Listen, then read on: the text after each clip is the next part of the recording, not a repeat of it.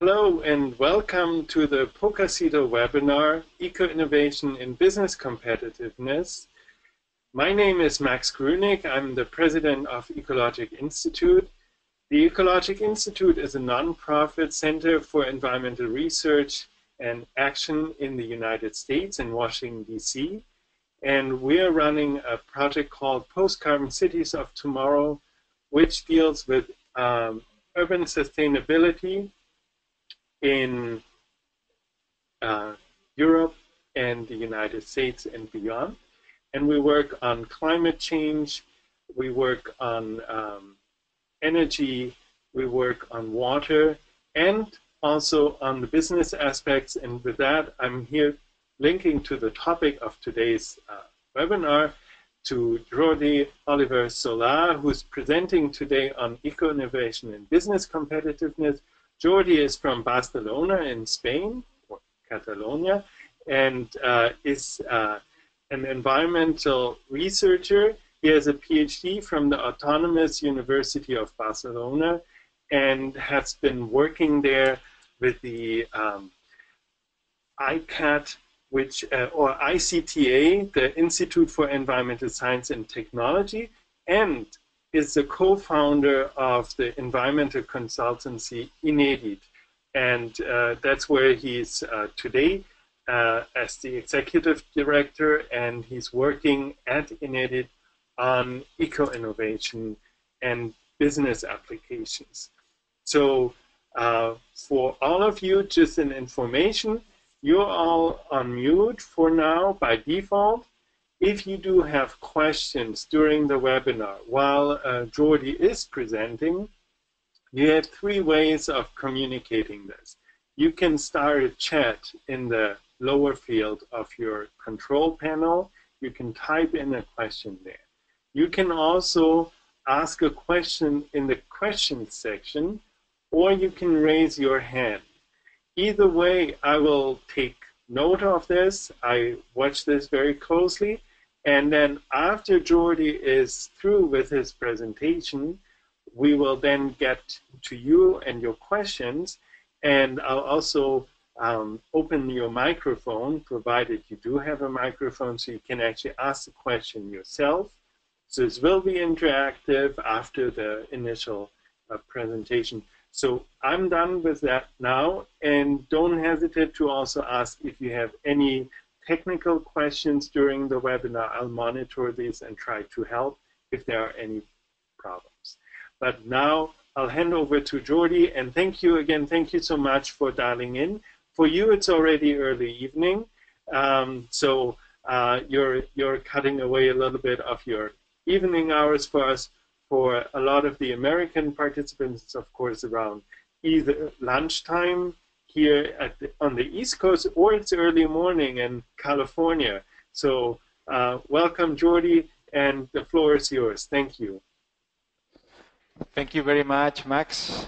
Uh, thank you for inviting me to, to share some of our work uh, here in Barcelona on, on the topic of uh, eco-design, eco-innovation, and especially some of the uh, findings we have uh, had from a project that is the Eco Innovation Lab that studies uh, how companies uh, do uh, make business out of uh, the environment or, this, or sustainability issues. Uh, good morning, uh, everyone. I'm very pretty excited to, to share this with this American audience. And well, we can we can start. I will show you some some slides. So I will hide myself for a while and see you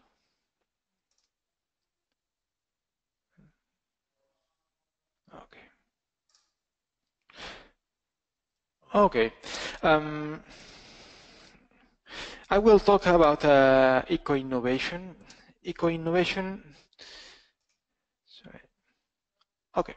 Eco-innovation is a, a, business strategy. It's a way to to innovate, so to to generate change and to manage the change, the innovation that uh, incorporates uh, environment, environment uh, as a cornerstone. Uh, eco-innovation is a kind of policies that have been fostered by the EU and the different state members in Europe and uh, is now a strategy that more and more companies are starting to implement. It's not, of course, a mainstream yet, but it's the way to go. It's the way that uh, companies, small and large companies from different sectors, are seeing that their competitiveness, uh, uh, the future competitiveness, is, played in, in, in, here in, in the eco-innovation. Um, one important thing about uh, eco-innovation is that uh, it takes into account all the life cycle of products and processes. This means that the company does not only focus uh, on its site or its on its physical operations, but uh, upstream and downstream. So from the origin of the raw materials and all the processes that are um, that take place until this product is managed uh, as a waste. And so the company has the power to uh, modify, to offer new solutions, to take decisions in the in their design, uh, to influence upstream and downstream processes, uh, reducing the environmental impact of their operations and having a better market positioning. What we I will try to, to share with you is the, the idea uh, to make clear that eco-innovation is a, is a matter of uh, being competitive. No? To, to eco-innovate is a matter of being more competitive as a, as a company. Um, I have a long, long uh, presentation with many slides, but I will skip some of them and I will go directly to, to the point to allow some time for discussion. How does it materialize? How, how, how do we eco-innovate? How do we help companies or, or uh, support companies to, to eco-innovate. So we do it at different uh, levels, at product level, at the organization, or, or, more at the strategy level. At the product level, uh, we do talk about eco-design. Eco-design, there is an eco-design directive in the European Union, so by, by law, uh, some products, especially uh, those energy related products uh, do have to comply some eco-design specifications, but uh, there is also an ISO standard, 146, 14006, sorry, uh, that uh, deals on eco, eco design. The idea of, uh, of eco design um, is that in the design phase, when the designers, the engineers or architects are thinking on their products, are conceptualizing the, the product, the process, the building, or even the neighborhood they will build, they will build, uh, they can estimate uh, around 80% of the impacts because they are deciding on the materials that will be involved, on the production processes, they're deciding on how, how the, the use phase will be, they are deciding whether the product will be easy to repair, to maintain, if it will be recyclable or not. So there, there are many, many design decisions that can influence the impact of the product. So this, this phase is crucial. We do also use tools for monitoring. Monitor, we monitor uh, the impacts of products and processes, the amount of the, the, the carbon footprint, the water footprint, etc. Uh, measuring to take decisions and taking decisions to improve. And also, we will see some examples of new business models, new eco-innovative business models uh, that provide um, economic benefits and at the same time environmental and social benefits. I will show you um, some motivations. Why do companies uh, eco-innovate? Which is the, which are the drivers? Which are the barriers that they encounter? And which are the benefits that, that they achieve? And I will go directly to, to the motivations to show you some, some examples. the motivations for eco-innovations, there, there are many. We have studied um, around 100 cases of companies that have eco-innovated from all over the world. And we have seen that the main motivation for uh, eco-innovation, so to innovate and to produce better, uh, environmentally better products, uh, is the market, the demand. No? Uh, to meet customer requirements, or to anticipate to, to future uh, requirements both from the market, from the, the customers, or from uh, legal requirements. Um, an example uh, of this uh, is, for example, the company Girbau. This is a Catalan company, uh, 700 workers, and uh, is competing worldwide. So it's a world leader on industrial dryers no, and washing machines and, and dryers for uh, laundry facilities, uh, for industrial laundries.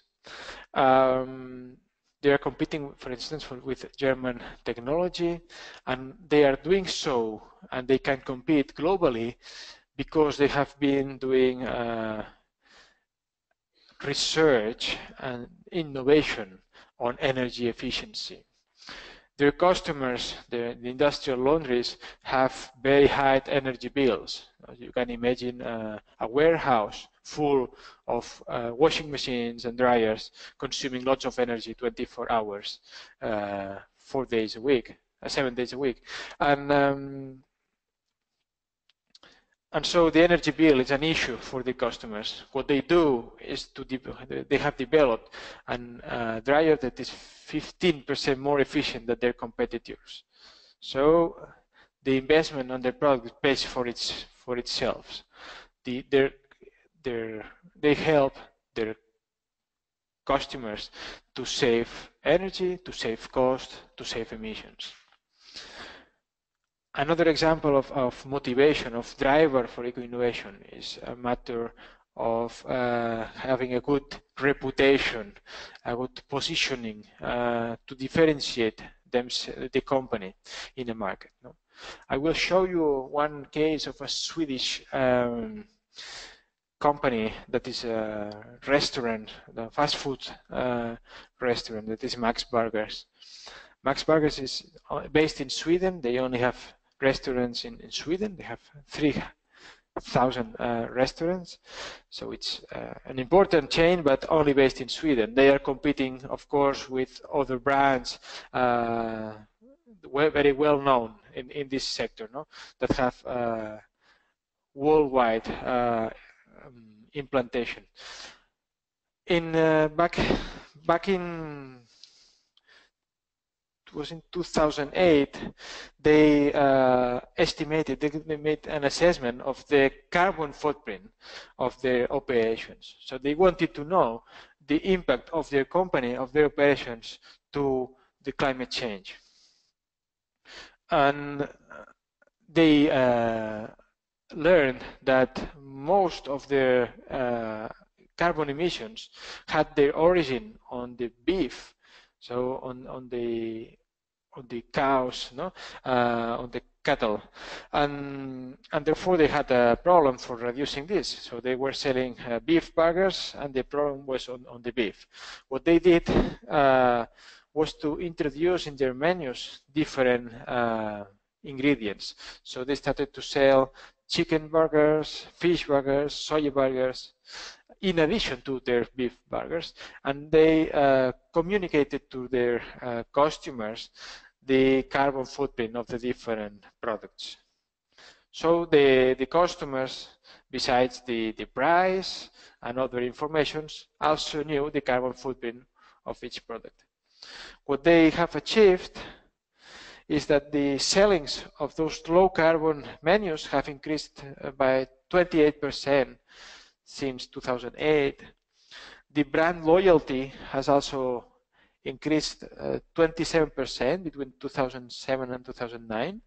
Half of, the, of that is due to the environmental strategy, which means an added revenues of uh, 8 million euros per year. And what is more interesting is that the profit margin of these uh, burgers, of these chicken burgers, is from three to five times larger than the beef burgers because the raw material is, is cheaper.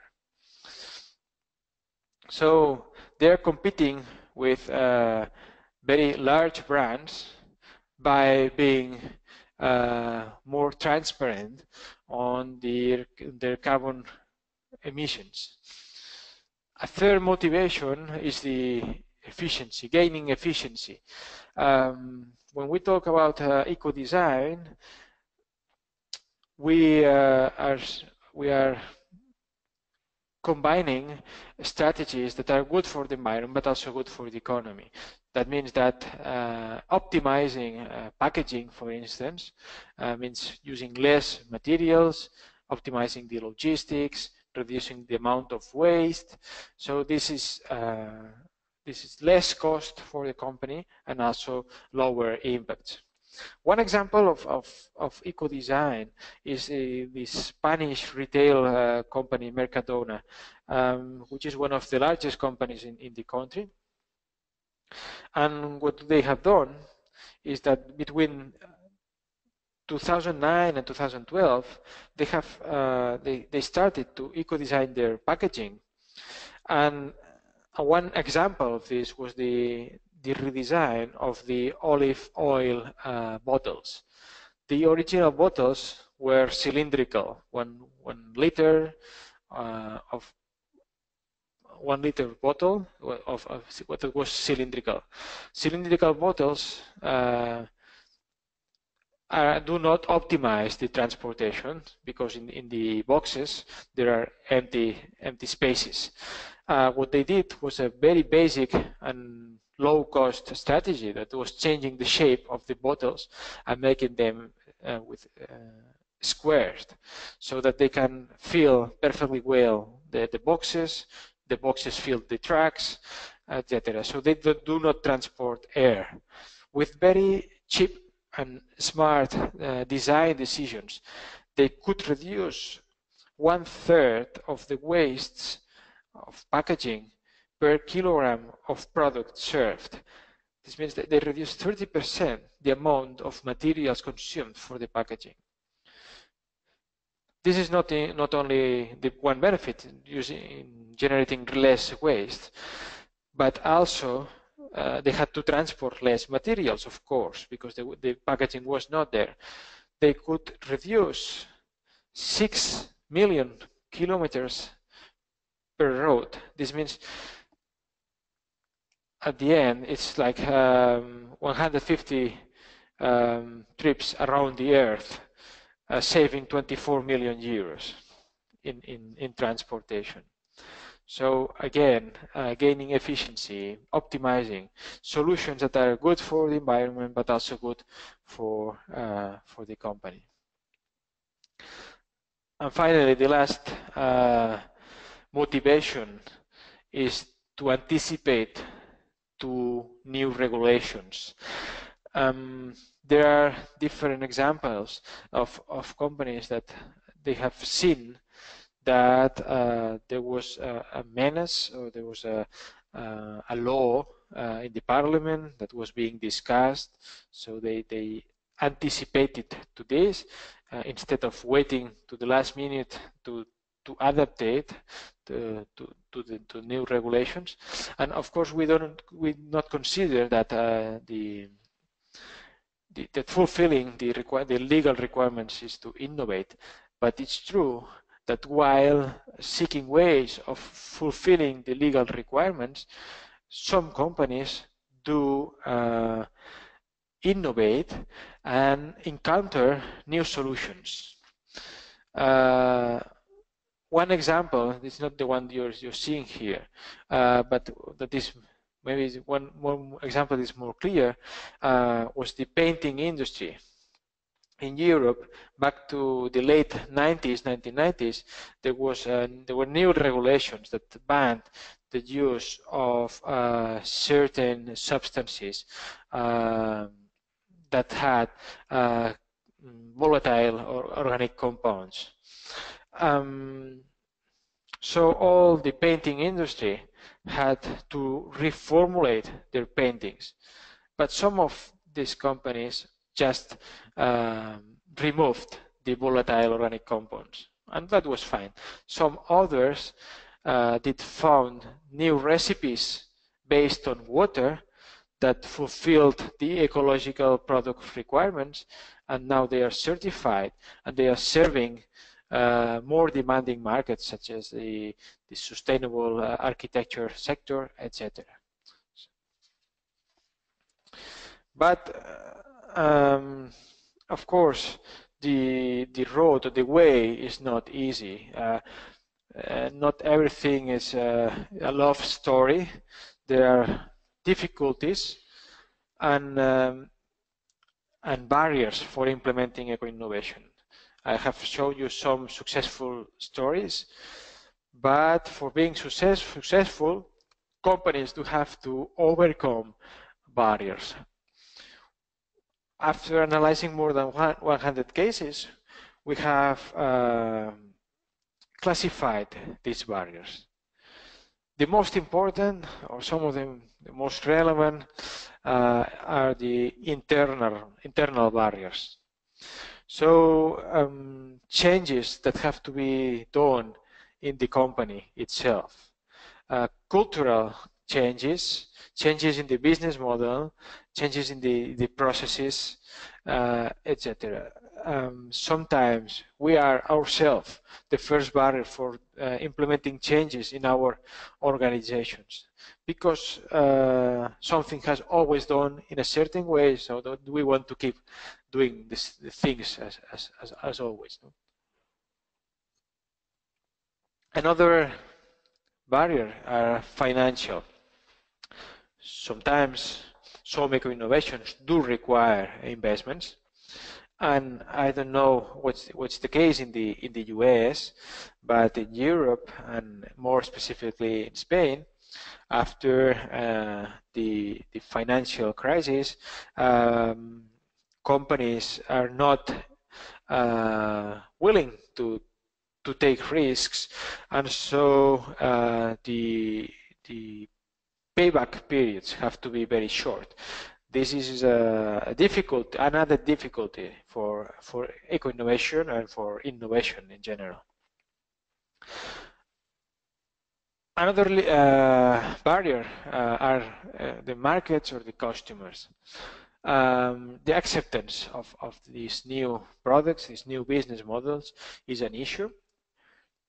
We've been talking, for instance, with very large companies, with very large European companies or the chemical sector, uh, like BASF, uh, know, very large German company on, on, the chemical sector, or Dow, Dow Chemical, uh, which are developing new business models, which are introducing uh, sustainability uh, in their products, or taking into account sustainability in the development of their products and under their portfolios. But when talking to them, they say, my customers do ask me to have environmentally better products, but if I add more cost, so if I charge the cost of the research and the development of, of these innovations, I'm out of the market. So we are finding customers that do ask for some improvements, but are not willing to pay for them. And the, the costs of the product are the first uh, mm, the first thing that the customers take into account. So there's a, a, there's also a gap uh, between what people say is that they want.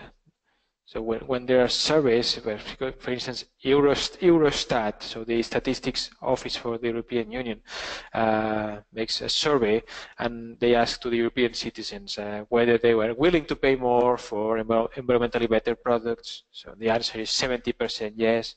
They, they ask whether uh, they buy uh, certified ecological products and people says yes but the reality is that uh, it's not like this. So there's a gap between what people says or knows they should do and what they really do. And this is also a barrier for companies of course. There's a barrier also with uh, there are barriers with the suppliers. There are experiences of uh, companies that willing to, for instance, to incorporate uh, recycled materials uh, instead of raw materials uh, of virgin origin or no, uh, but uh, it's not easy to find the supplier. Once you find the supplier, maybe the, the amount they can supply is not enough, or the quality, or the price, etc., etc., etc. So sometimes the, the theory is nice, but once uh, it's into practice, it's not so easy. And also there are the context barriers. No? Uh, for instance, the electric electric car. The electric car is a well-known technology.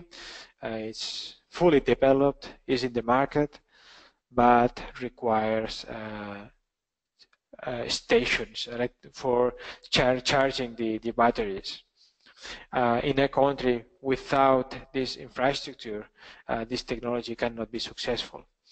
But implementing this uh, infrastructure is uh, something that the companies alone uh, may not be able to do. So there's a need for collaboration for uh, public and private agreements for developing satisfactory network of electric chargers, charging facilities. No?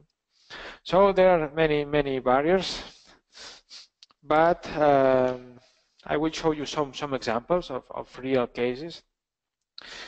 Uh, for instance, this is the, the case of Cosentino. This is a, a Spanish company um, that is well known for the, the, the brand that is Silestone. That is, uh, they, they produce um, cooking uh, surfaces, hard surfaces uh, for the for the kitchens uh, that substitute the the marble or the granite um, made out of uh, dust from from granite from from not natural stone dust uh, they realized that they, there was a market in LEED certified buildings that uh, had extra points if they could in, incorporate uh, recycled materials. So they did uh, research on developing this kind of surfaces, uh, cooking surfaces for, for the kitchens uh, made of recycled materials. They tried with seashells, but uh, technically it was not uh, correct or it didn't work because the acids eroded the, the surfaces. Then they tried with glass and glass waste, mirror waste, etc. And they could develop a solution. But they could develop the prototype, a few prototypes, but they wanted to go to the US market and they needed a large production for this market and for the LEED certified buildings uh, that they were heading. Um, and the project was close to fail because uh, they couldn't find enough suppliers of uh, glass waste, etc. So sometimes you have the good idea, the market is there, the product is excellent, the prototype works, but uh, the suppliers are not ready because uh, we are still in a linear economy. We are used to have uh, very good uh, virgin uh, raw material suppliers, but not recycled. It's it's more difficult. There are internal variables, as I said, and I will show you a last case because we, I want to leave some some time for for discussion. Um, of Ricoh, uh, this is a printers and photocopier manufacturer. They have developed a new business model uh, that is based on remanufacturing. 20% uh, of their sellings in Europe are already of remanufactured products. This means that when they have a leasing contract with a large company or uh, organization uh, and they lease uh, hundreds of photocopiers, for instance, to, to a large company, uh, after the period uh, of use, they recover those photocopiers and they know that most of the components are still perfectly uh, valid. They can be reused. So they take these uh, machines, they bring them to the facilities, dismantle them, recover the components, and build new uh, photocopiers with 100% uh, warranty uh, and resell them.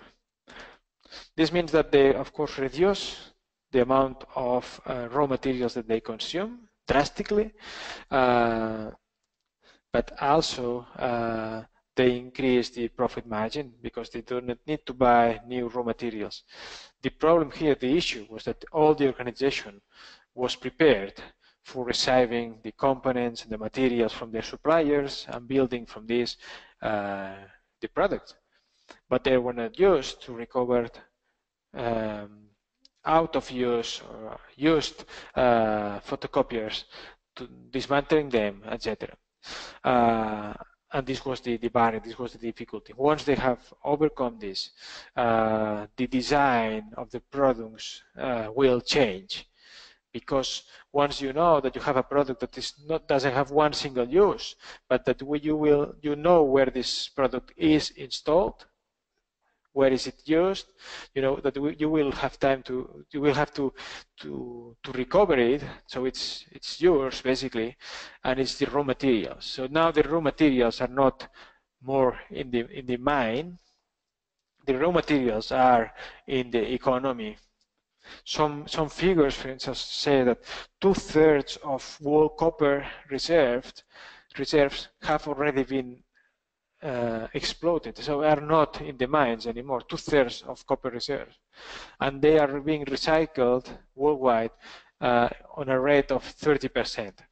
So this is pretty scary.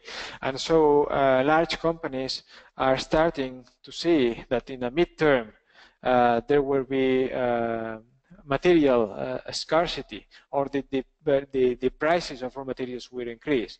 So why to use them only once if there can be business models that they can use and to keep the materials and, and, and take advantage and use this stock of materials one time after another and another and another, which gives them more uh, freedom and makes them more uh, resistant to uh, future uh, menaces.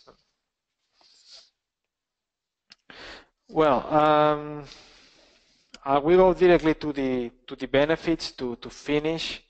Uh, the benefits are clear. Those companies that, that overcome the the barriers have clear benefits. We have identified several, uh, so some of them. No? Uh, business benefits uh, in terms of innovation. Companies that have uh, started this kind of processes um, to have new products that are more functional, new business models that are more resilient uh, in, in, the, in the midterm. Uh, they can increase market uh, share and sales. So the, thinking on an European economy and uh, European uh, companies, uh, our internal market in terms of national, uh, of, of, state markets are pretty small compared to the US. Uh, and even though uh, we have a unified market, uh, European market, uh, there are many differences between countries, cultural and, many, many differences. Therefore, uh, Spanish companies or Catalan companies are faced to exportation. Um, exportation to some markets that are uh, more um, have higher environmental standards. So in order to be competitive, it's uh, imperative to have a strong sustainability record. Also, in terms of reputation, companies that uh, for instance, uh, Volkswagen, no, yeah, it's no, no, need to comment more. But all the Dieselgate scandal, um, if if you think on, on Volkswagen, probably before the scandal, uh, having or saying that they had a good or very low uh, emissions, uh, maybe was not uh, an incentive for buying their products, or not, so that no more people uh, bought their product because of this. But once uh, the scandal was revealed, then yes, the sales decreased. So companies deal uh, with environment not only because of reducing the impact but also for preventing scandals of this risk uh, managing the the risks not only in their facilities but also in all the all the chain the value chain and reducing costs. And all these all these eco innovations have a return have a, better functional products, more emotional, keeping jobs at home, uh, the eco-innovation and the circular economy, like the like the remanufacturing I, I have explained for for Ricoh, uh, means that instead of importing uh, materials or manufactured goods from uh, low-cost uh, countries uh, and using them in Europe and dealing with the waste in Europe, what we are doing is to have a stock of products in Europe that are recovered, reused, remanufactured in Europe, so that the labor, uh, the workers, are also based in, in, in the European economies instead of outsourcing or externalizing this. And all this has a environment, on environmental benefits and savings. No? So there's a uh, triple, triple uh, win for the company, for the for the users, the society, and the environment. Um, we're, that's, we're that's getting all. towards the time limit. I'm, I did not want to stop you. I'm just saying, uh, if you if you need a few more minutes, please go ahead. No, it's it's fine. I think we can we can start the the discussion. Uh, yeah. Of course, we could be talking a lot of time, but I think it's enough for giving a first uh, uh, impression of what what we what we do. Absolutely, absolutely. Uh, it's really great. Thank you, Jordi. Uh, thank you very much for sharing this information about uh, ideas about business resilience. I thought that was extremely impressive. Uh, also, maybe you can um, also expand later a little bit more about the general concept of that circular economy. I want to add a little disclaimer here right away. Uh, I am not uh, connected at all to Max Burgers in uh, Sweden, so so this was uh, just purely coincidental. But I do have to add, we had a spontaneous comment, uh, more a comment than a question from Mary during the webinar regarding the burgers and suggesting black bean and mushroom burgers also as a very uh, appetizing option to to have instead of meat products, of course. So yeah.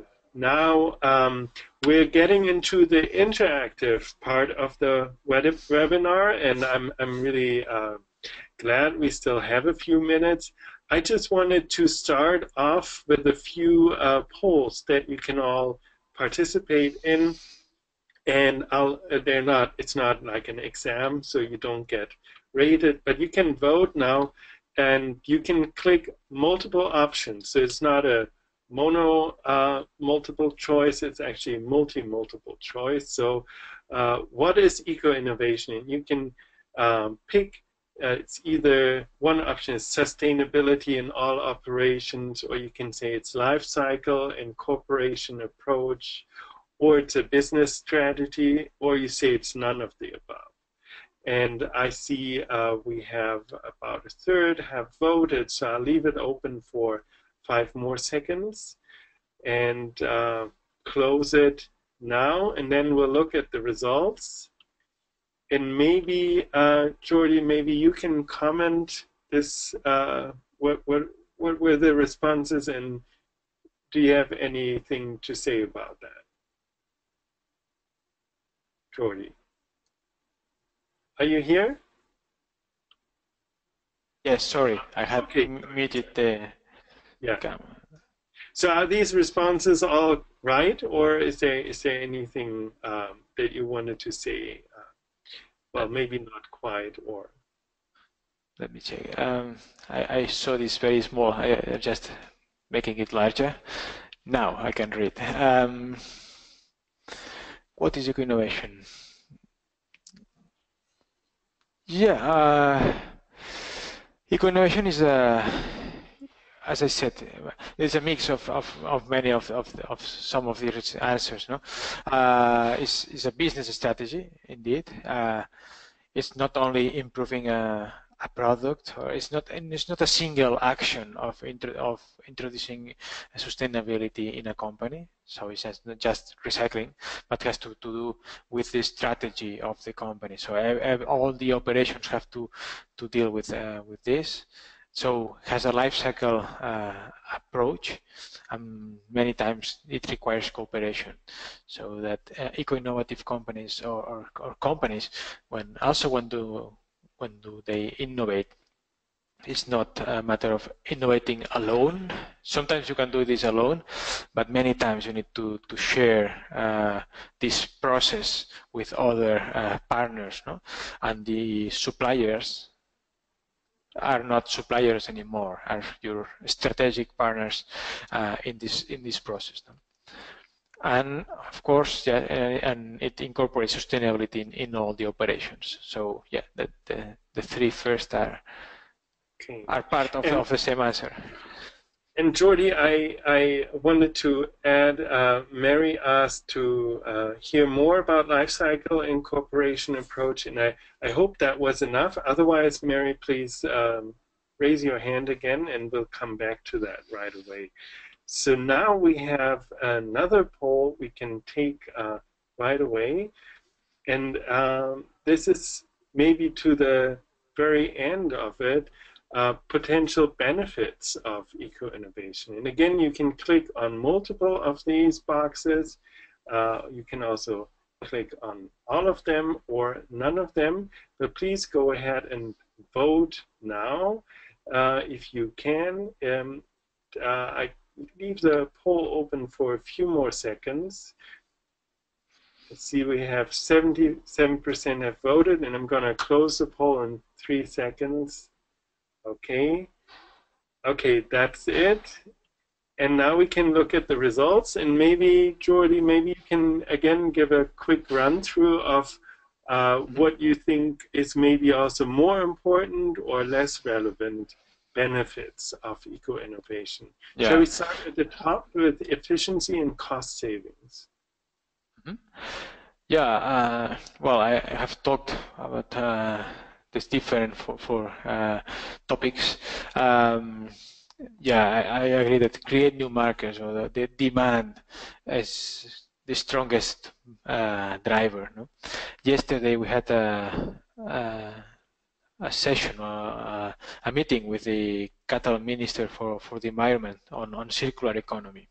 And of course there were uh, both approaches no? from uh, people who said that uh, there need to be regulations so to, to legislate uh, to force companies to move towards uh, this uh, direction and uh, the other the opposite trend no that is do not regulate the market will work if, if there is demand and I, I, I believe uh, what, what I've seen in the last uh, eight years working on uh, as a consultant on, on, these topics is that uh, when uh, a company has a demand, uh, the changes are very, very fast. So we, we are in an economy in, in, in Europe, most companies are SMEs. And that serve uh, larger companies.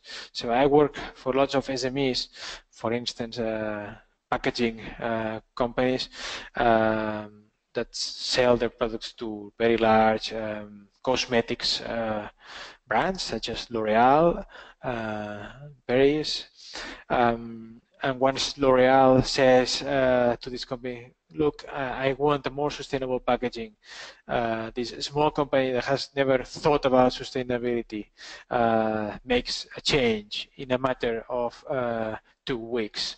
No, uh, the message is very strong, and if companies are proactive, they can also um, have better access to, to, to new markets, to international markets.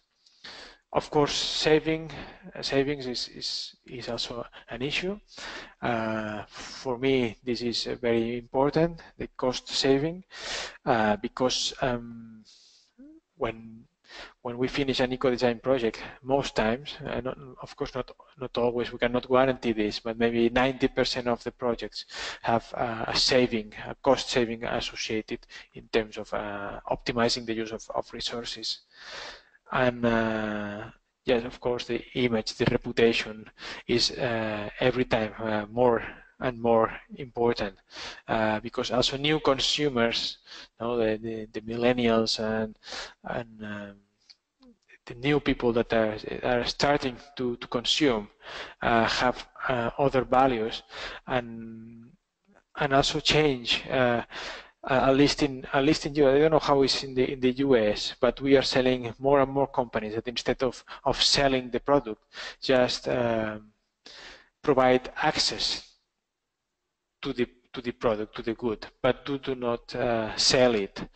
Uh, so, for for instance, uh, car manufacturers, of course, they they still sell the cars, but they are all of them working very seriously on car sharing initiatives because they see that um, young consumers uh, 30 years ago when when uh, when people turned 18 the first thing they did was uh, to ask for the driving license and, and, buy a car. But now this is not the case anymore. But people still use cars. So they are um, starting uh, car sharing companies where people pays a fee, a monthly fee, and pays for the using a car. But then you can choose which kind of car you want, if it's small, larger, etc. Uh, in in each case, no. So business models that offer access to the to the product instead of of selling it, and and this is also a, a, very interesting trend that allows uh, eco innovation I think I think we see that to some degree in the United States as well, and I think it's actually an interesting uh, observation because, of course, the legal or the regulatory frameworks are quite different. For example, you mentioned you have a minister for the circular economy. Did you just say that? Well, Minister for the Environment, but which are leading his he's leading the, the circular economy. I mean, uh, one year ago, close to one year ago, this December 2015, uh, the European Union uh, launched the circular economy package, which uh, it's a, a, package of legislat legislative uh, package that will uh, act on uh, waste directives, uh, eco-design directives, and will fund uh, the change of, of the economy. But this is going down, down to, to the states, to regions, to companies, and uh, it's, it's the only way to go, no? according to what the, the minister said yesterday. Yeah. Well, that's that's very good to know because I think, I mean, of course, here we are in a different environment, but we also have the same constraints. You mentioned that in the beginning with two-thirds of the copper being already mined. So there isn't, you know, if we don't recycle it, there's not that much left, actually, that we can use. And a situation might be similar for other materials, other raw materials. And even if we're not strictly running out of things, it still is beneficial because of the many other uh, benefits that you mentioned it here. I mean, which can be cost saving, but also you mentioned the job creation aspect, the local economy aspect. That's really, really important, I think, uh, no matter where you stand on, on certain aspects. And I'm I'm impressed because that means it's something where you get actually businesses, the environment, and consumers on the same table in a way. Mm-hmm. Exactly, and it it uh, reverts uh, the dynamics. Um, I will explain you the, the, the, case in, in Spain. In Spain uh, was became, became a member uh, of the EU in the in the 80s. The environmental standards in Spain were very low, but in a matter of years, uh, we had to rise our standards to Swedish levels. No, uh, so uh, there was a change in all legislation in water management or wastewater management, waste management, energy, etc. So in, in a matter of 20 years, all the companies had to make, and administrations and research centers have to to do a, race, no, a race to to to deal to to meet the, the required standards. And we did this, and uh, the environmental quality uh, is now uh, very very good. I mean, we're in a good in a good standards. Um, but uh, companies do perceive uh, environment, the environment or sustainability as a cost, an added cost. So I do my business, which is the serious economy, and besides this, I'm forced to have a wastewater treatment plant, no? uh, and this is a cost. And the perception is this one. What we are changing and what the circular economy and eco-innovation uh, change uh, is to align business and uh, sustainability. How can we make uh, good business doing good for the environment as well? And how can we uh, have an European uh, industrial policy that respects the environment and environmental policies that do foster industrial development, uh, but uh, at the same time being more resilient, being aware that the resources will be for sure in the future more scarce and more expensive and that Europe has to import. Europe imports more than 90% of the energy that, that is consumed in, in Europe and the same figure uh, is for the for the materials. So we are basically extremely dependent on, on imports of raw materials and energy. So we, we, we if, if, we, if we want to be resilient, if we want to be successful in the midterm, we need to make business out of the resources that are currently present in our economy and cut dependency on on on on imports and on uh, raw materials. So one question you you talk a lot about products, so about uh, physical products how is eco-innovation uh, relevant, in, innovation relevant for services and service industries? Can you, very briefly, we only have a few minutes left, can you do that in, in a like two minute time frame? Something yep. about the service sector. Yeah, uh, in fact, uh, uh, eco-innovation and, and also the, the circular economy, which which are frameworks that are, are names that are uh, pretty similar in, in terms of, of meaning, um, will require a change on the business models. Um, from an economy of selling uh, products to economy that provides services by using products. So the product does not disappear, but is not uh, sold. Uh, the company does not uh, lose the property of the product, rather uh, gives access to the, right. the customers um, because it's a strategic asset, no, the, the, the materials. So we, I, well, not, not, not only me, but uh, literature uh, says uh, that uh, an innovative uh, economy will be more service-based, that we are in a um, product, we were facing to product service systems.